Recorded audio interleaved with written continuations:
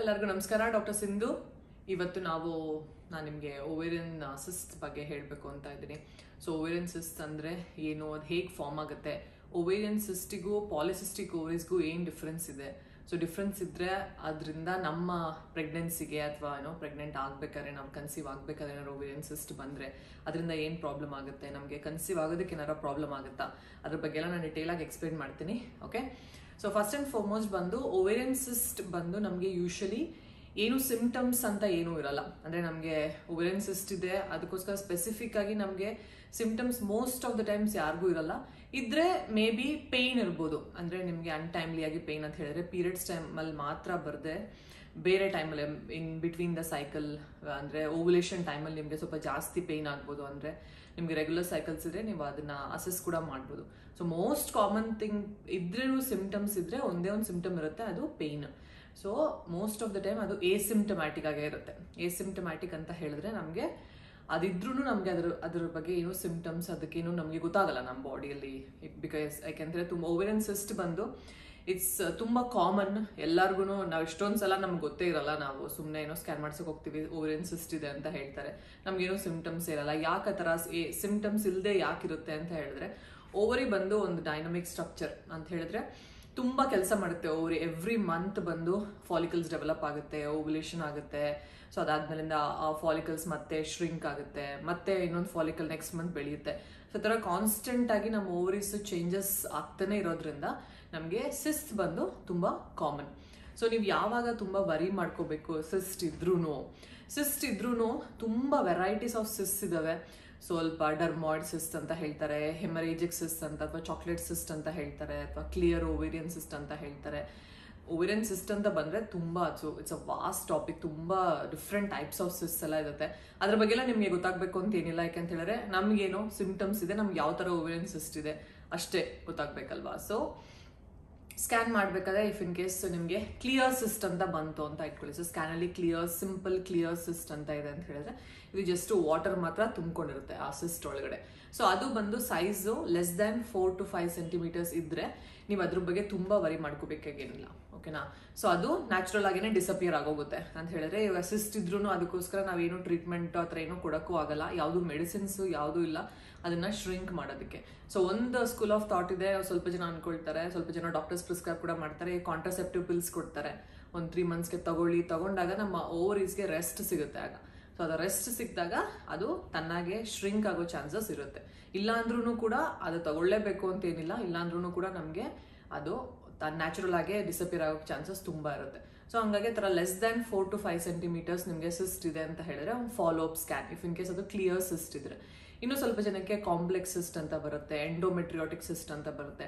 ಎಂಡೋಮೆಟ್ರಿಯೋಟಿಕ್ cyst ಅಂತ ಹೇಳಿದ್ರೆ so cyst ಒಳಗಡೆ ಬ್ಲಡ್ ತುಂಬಿಕೊಂಡಿರುತ್ತೆ. ನಾವು ಎಂಡೋಮೆಟ್ರಿಯೋಸಿಸ್ ಅಂತ ಹೇಳ್ತೀವಲ್ವ? ಎಂಡೋಮೆಟ್ರಿಯೋಸಿಸ್ ಅಂತ ಅದೊಂದು ಏನೋ ಡಿಫ್ರೆಂಟ್ ಟಾಪಿಕ್ಕೇನೆ ಅದರಲ್ಲಿ ನಮ್ಮ ಮೆನ್ಸ್ಟ್ರೋಲ್ ಬ್ಲಡ್ ಹೊರಗಡೆ ಬರೋದಕ್ಕಿಂತ, ಹೊರಗಡೆ ಬರ್, ಬರುತ್ತಲ್ವಾ? ಮೆನ್ಸ್ಟ್ರೋಲ್ ಬ್ಲಡ್ ಎವ್ರಿ ಮಂತ್ ನಮ್ಮ ಯೂಟ್ರಸ್ ಗ್ರೋ ಆಗುತ್ತೆ ಎಂಡೋಮೆಟ್ರಿಯಲ್ ಗ್ರೋ ಆಗುತ್ತೆ, ಮತ್ತೆ ಹೊರಗಡೆ ಬರುತ್ತಲ್ವಾ?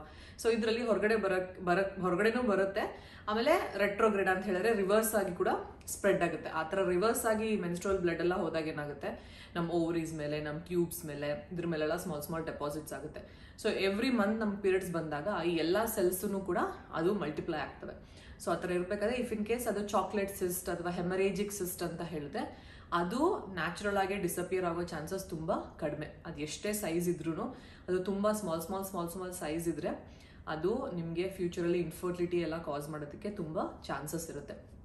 ಇಫ್ ಇನ್ ಕೇಸ್ ನಿಮಗೆ ಹೆಮರೇಜಿಕ್ ಸಿಸ್ ತುಂಬ ಇದೆ ಮಲ್ಟಿಪಲ್ ಸಿಸ್ ಇದೆ. ಸ್ವಲ್ಪ ಸ್ವಲ್ಪ ಅಂದರೆ ಎಲ್ಲ ಎರಡು ಮೂರು ಸೆಂಟಿಮೀಟರ್ ಹಾಗೆ ತುಂಬ ಮಲ್ಟಿಪಲ್ ಸಿಸ್ ಇದೆ ಅಂತ ಹೇಳಿದ್ರೆ ಅದು may be early sign of endometriosis ಇದರಿಂದ ನಮಗೆ ಫ್ಯೂಚರಲ್ಲಿ ಮಕ್ಕಳೇ ಆಗದಿರೋ ಥರ ಚಾನ್ಸಸ್ ಕೂಡ ತುಂಬ ಆಗುತ್ತೆ. ಯಾಕಂತ ಹೇಳಿದ್ರೆ ಎಂಡೋಮೆಟ್ರಿಯೋಸಿಸ್ ಬಂದು ಓವರೀಸ್ ಮಾತ್ರ ಅಲ್ಲ ಸ್ಕ್ಯಾನಲ್ಲಿ ನಮ್ಗೆ ಓವರೀಸ್ ಕಾಣುತ್ತೆ.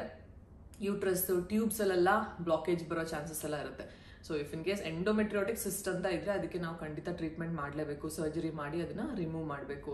ಸರ್ಜರಿ ಮಾಡಿ ನಾವು ನೋಡಬೇಕು ಒಳಗಡೆ ನಮಗೆ ಯಾವ ಥರ ಸಿಚುವೇಶನ್ ಇದೆ ಅಂತ ಹೇಳ್ಬಿಟ್ಟು.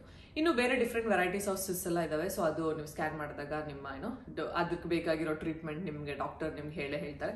ತುಂಬ ಮೇಜರ್ ತುಂಬ ಇಂಪಾರ್ಟೆಂಟ್ ಅಂತ ಹೇಳಿದ್ರೆ ಇದು. ಇದು ನಮ್ಮ ಇನ್ಫರ್ಟಿಲಿಟಿ ಕಾಸ್ ಮಾಡೋ ಒಂದೇ ಒಂದು ಸಿಸ್ಟ್ ಬಂದ್ರೆ ಎಂಡೋಮೆಟ್ರಿಯಾಟಿಕ್ ಸಿಸ್ಟ್ ಅದು ಬಿಟ್ಟು ಡರ್ಮಾಯ್ಡ್ ಸಿಸ್ಟ್ ಇರ್ಬೋದು ಕ್ಲಿಯರ್ ಸಿಸ್ಟ್ ಇರ್ಬೋದು, ಇದೆಲ್ಲ ಇದ್ರೂ ನಮಗೆ ಪ್ರೆಗ್ನೆಂಟ್ ಆಗೋದಕ್ಕೆಲ್ಲ ಏನು ಪ್ರಾಬ್ಲಮ್ ಆಗಲ್ಲ. ಇಫ್ ಇನ್ ಕೇಸ್ ಯಾವುದೇ ಸಿಸ್ಟ್ ಇದ್ರೂ ಆ ಸಿಸ್ಟ್ ಬಂದು more than five to six centimetres ಇದ್ರೆ, ಅಂದರೆ ಐದರಿಂದ ಆರು ಸೆಂಟಿಮೀಟರ್ಗಿಂತ ಜಾಸ್ತಿ ಸಿಸ್ಟ್ ನಮಗೇನಾರ ಸೈಜ್ ಇದ್ರೆ, ಅದು ಇನ್ವೇರಿಯಬಲಿ ನಾವು ಅದನ್ನ ಸರ್ಜರಿ ಮಾಡಿ ರಿಮೂವ್ ಮಾಡಲೇಬೇಕಾಗತ್ತೆ. ಯಾಕೆಂತ ಹೇಳಿದ್ರೆ ಅದು ತುಂಬಾ ಸೈಜ್ ದೊಡ್ಡದಾಗಿರೋದ್ರಿಂದ ಅದು ಟಾರ್ಷನ್ ಅಂತ ಹೇಳಿದ್ರೆ ಟ್ವಿಸ್ಟ್ ಆಗೋ ಚಾನ್ಸಸ್ ತುಂಬಾ ಜಾಸ್ತಿ ಇರುತ್ತೆ. ಆ ಥರ ಟ್ವಿಸ್ಟ್ ಆಗಬೇಕಾದ್ರೆ ನಮ್ಮ ಓವರಿ ಜೊತೆಗೆ ಸೇರಿಕೊಂಡು ಟ್ವಿಸ್ಟ್ ಆಗಿಬಿಡುತ್ತೆ. ಆ ಟ್ವಿಸ್ಟ್ ಆದಾಗ ಬ್ಲಡ್ ಓವರಿಸ್ಗೂ ಹೋಗಲ್ಲ.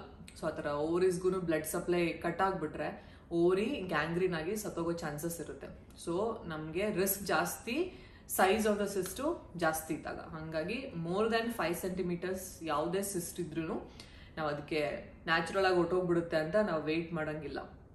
ಖಂಡಿತ ಅದನ್ನು ಸರ್ಜರಿ ಮಾಡಿ ರಿಮೂವ್ ಮಾಡಲೇಬೇಕು.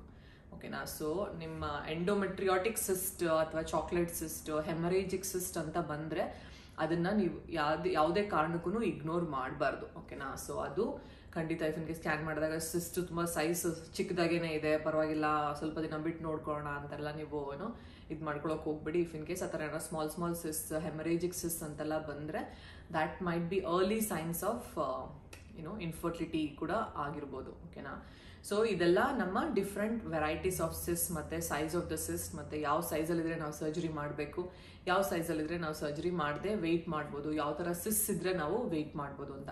ಇನ್ನೊಂದು ಸಿಚುವೇಶನ್ ಬರುತ್ತೆ ಪ್ರೆಗ್ನೆನ್ಸಿ ಆಗಿರ್ತೀರ ಸೊ ಪ್ರೆಗ್ನೆನ್ಸಿಯಲ್ಲಿ ಸಿಸ್ಟ್ ಬಂದ್ಬಿಡುತ್ತೆ. ಸೊ ಆ ಥರ ಸಿಚುವೇಶನ್ ಅಲ್ಲಿ ಯಾವುದೇ ಕಾರಣಕ್ಕೂ ನಾವು ಸರ್ಜರಿ ಮಾಡಲ್ಲ. ಏನಾರ ಎಮರ್ಜೆನ್ಸಿ ಬಂದ್ರೆ ಮಾತ್ರ ನಾವು ಸರ್ಜರಿ ಮಾಡಬೇಕಾಗುತ್ತೆ. ಇಫ್ ಇನ್ ಕೇಸ್ ಸಿಸ್ಟ್ ಯಾವುದೇ ಸೈಜಲ್ಲಿ ಇದ್ರೂ ಪ್ರೆಗ್ನೆನ್ಸಿಯಲ್ಲಿ ಆ ಸಿಸ್ಟ್ ಇಂದ ನಿಮ್ಮ ಪ್ರೆಗ್ನೆನ್ಸಿಗೆ ಯಾವುದೇ ರೀತಿಯಾದ ತೊಂದರೆ ಆಗೋದಿಲ್ಲ. ಓಕೆನಾ ಸೊ ಇಫ್ ಇನ್ ಕೇಸ್ ಅದು ತೊಂದರೆ ಆದ್ರೂ ನಿಮಗೆ ಸಿವಿಯರ್ ಪೇನ್ ಬರುತ್ತೆ. ಸೊ ಆ ಥರ ಏನಾರ ಪೇನ್ ಏನಾರ ಬಂದು ನೀವು ಸಿಂಪ್ಟಮ್ಯಾಟಿಕ್ ಆದರೆ ಮಾತ್ರ ಅದನ್ನು ಸರ್ಜರಿ ಮಾಡಿ ಪ್ರೆಗ್ನೆನ್ಸಿಯಲ್ಲೇ ಸರ್ಜರಿ ಮಾಡಿ ಲ್ಯಾಪ್ರೋಸೋಪಿಕ್ ಸರ್ಜರಿ ಮಾಡಿ ರಿಮೂವ್ ಮಾಡಬೇಕಾಗುತ್ತೆ. ಸೊ ಅದೊಂದು condition most of the time ನಾವು ಸ್ಕ್ಯಾನ್ ಪ್ರೆಗ್ನೆನ್ಸಿಗೆ ಅಂತ ಸ್ಕ್ಯಾನ್ ಮಾಡ್ತೀವಿ. ಆವಾಗ ನಮಗೆ ಗೊತ್ತಾಗುತ್ತೆ ಸಿಸ್ಟ್ ಇದೆ ಅಂತ. ಸೊ ಅದನ್ನ ಇನ್ಸಿಡೆಂಟಲ್ ಫೈಂಡಿಂಗ್ ಅಲ್ವಾ? ನಿಮ್ಗೇನು ಸಿಮ್ಟಮ್ಸೇ ಇರಲ್ಲ. ಸೊ ಥ್ರೂ ಔಟ್ ಪ್ರೆಗ್ನೆನ್ಸಿ ಹಂಗೇನೆ ಇದ್ರೆ so no problem most of the time ಎಷ್ಟೇ ಸೈಜ್ ಸೈಜ್ ಇದ್ರೂ ಸಿಸ್ಟ್ ಇದು. ಪ್ರೆಗ್ನೆನ್ಸಿಯಲ್ಲಿ ಅದು ತನ್ನಾಗಿ ತನ್ನೇ ಶ್ರಿಂಕ್ ಆಗೋಗ್ಬಿಡುತ್ತೆ. ಸೊ ಈಗ ನಿಮ್ಗೇನು ಸಿಂಪ್ಟಮ್ಸ್ ಆಗಿಲ್ಲ ಅಂತ ಹೇಳಿದ್ರೆ ಡೆಲಿವರಿ ಆದಮೇಲೆ ಒಂದು ಎರಡು ತಿಂಗಳು ಬಿಟ್ಟು ಒಂದು ಸ್ಕ್ಯಾನ್ ಮಾಡಿಸಿ ನೋಡಿಸ್ಕೊಳ್ಳಿ. ಇನ್ನೂ ಅಷ್ಟೇ ಸೈಜ್ ಇದೆ ಸಿಸ್ಟು ಅಂತ ಹೇಳಿದ್ರೆ ಮತ್ತೆ ಅದನ್ನ ನಾವು ಸರ್ಜರಿ ಮಾಡಿ ರಿಮೂವ್ ಮಾಡಬೇಕಾಗುತ್ತೆ. ಓಕೆನಾ ಸೊ ಇದೆಲ್ಲದ್ರ ಜೊತೆ ತುಂಬ ಏಜ್ ಆದವ್ರಿಗೆ ಅಸಿಸ್ಟ್ ಇದೆ. ಇದೆಲ್ಲ ನಮ್ಮ ರಿಪ್ರೊಡಕ್ಟಿವ್ ಏಜ್ ಗ್ರೂಪ್ ಇದೆ ತುಂಬ ಯಂಗ್ಸ್ಟರ್ಸ್ಗೆ ಥರ ಬಂದರೆ ಈ ಥರ ಎಲ್ಲ ಮಾಡ್ತೀವಿ. ತುಂಬ ಏಜ್ ಆದವ್ರಿಗೆ ನಾವು ಇನ್ನೇನೋ ಪೀರಿಯಡ್ಸ್ ನಿಂತೋಗೋ ಟೈಮಲ್ಲಿ ನಲ್ವತ್ತು, ನಲ್ವತ್ತೈದರಿಂದ ವರ್ಷದ ಮೇಲೆ ಅಥವಾ ಐವತ್ತು ವರ್ಷದ ಮೇಲೆ ಅಸಿಸ್ಟ್ ಎಲ್ಲ ಬಂದಿದೆ ಅಂತ ಹೇಳಿದ್ರೆ ಅದು ನಮ್ಮ ಮೇ ಬಿ ಓವೇರಿಯನ್ ಕ್ಯಾನ್ಸರ್ ಆ ಥರ ಬರೋ ಚಾನ್ಸಸ್ ಕೂಡ ಇರುತ್ತೆ. ಸೊ ಆವಾಗ ಒಂದು ಹಾರ್ಮೋನ್ ಟೆಸ್ಟ್ ಮಾಡ್ತಾರೆ. C A one twenty five ಅಂತ. ಇದು ಓಲ್ಡ್ ಏಜಲ್ಲೇ ಅಂತಲ್ಲ. ಯಾವ ಏಜಲ್ಲಿ ನಾವು ಏನೋ ಇದು ಬಂದ್ರೂ ಈ ಟ್ಯೂಮರ್ ಮಾರ್ಕರ್ನ ಖಂಡಿತ ಮಾಡೇ ನೋಡ್ತೀವಿ. ಇಫ್ ಇನ್ ಕೇಸ್ ನಿಮ್ಮ ಅಮ್ಮ ನಿಮ್ಮ ಅಜ್ಜಿ ಅವ್ರಿಗೆಲ್ಲ ಏನಾರ ಸ್ಕ್ಯಾನ್ ಮಾಡಿಸಿ, ತುಂಬ ಪೇನ್ ಇದೆ ಸಿಸ್ಟ್ ಹತ್ರ ಏನಾರ ಬಂದಿದೆ ಅಂತ ಏನಾರ ಇದ್ರೆ ಸೊ ಖಂಡಿತ ಅವ್ರಿಗೆ ಆ C A one twenty five ಅಂತ ಒಂದು ಹಾರ್ಮೋನ್ ಟೆಸ್ಟ್ ಮಾಡ್ತಾರೆ. ಅದು ಖಂಡಿತ ಮಾಡಿಸ್ಲೇಬೇಕು. ಆಮೇಲೆ ಯಾರೇ ಆಗಿದ್ರು ಪೀರಿಯಡ್ಸ್ ನಿಂತ ಮೇಲೆ ಅಂದಮೇಲೆ ಮೆನೋಪಾಸ್ ಮಾಡಿದ್ಮೇಲೆ cyst size more than three centimetres ಅಥವಾ ಫೋರ್ ಸೆಂಟಿಮೀಟರ್ಸ್ ಇದ್ರೆ C A one twenty five normal ಬಂದ್ರೂ ಅದನ್ನು ಅವರು ಸರ್ಜರಿ ಮಾಡಿಸಿ remove ಮಾಡಿಸ್ಲೇಬೇಕು. That can be an early sign of ovarian cancer ಓಕೆನಾ ಸೊ ಹಾಗಾಗಿ ಯಾವುದೇ ಸಿಸ್ಟ್ ಇದ್ರೂ ಆ ಏಜ್ ಗ್ರೂಪಲ್ಲಿ ನಾವು ಇಗ್ನೋರ್ ಮಾಡೋಂಗಿಲ್ಲ. ಸೊ ಯಾವ ಏಜ್ ಗ್ರೂಪಲ್ಲೂ ನಾವು ಇಗ್ನೋರ್ ಮಾಡೋಂಗಿಲ್ಲ. ಇಫ್ ಆ ಥರ ಏಜ್ ಆಗಿರೋರಲ್ಲಿ, ಐವತ್ತು ವರ್ಷ, ಅರವತ್ತು ವರ್ಷ ಆಗಿರೋರಲ್ಲಿ ಇದು ತುಂಬ ಏನೋ ತುಂಬ ರಿಸ್ಕಿ ಆಗ್ಬೋದು ಫ್ಯೂಚರ್ ಅದನ್ನ ಇಗ್ನೋರ್ ಮಾಡಿದ್ರೆ ಓಕೆನಾ so that is all about ovarian cyst ನಿಮಗೆ ಚಾನಲ್ ಇಷ್ಟ ಆಗಿದ್ರೆ ಸಬ್ಸ್ಕ್ರೈಬ್ ಮಾಡಿ.